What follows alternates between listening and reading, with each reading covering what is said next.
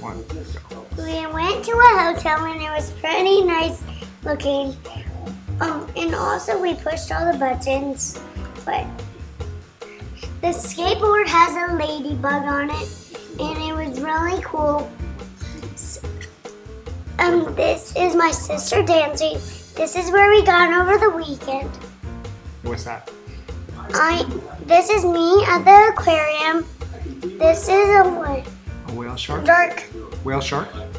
What's that? This is um Piranha? a piranha. It's um about seven. This is a frog. It's about seven feet long. and what are those? Those are moon. Moonfish? Yeah. Jellyfish? Yeah, jellies. And And that's me standing next to all these fish.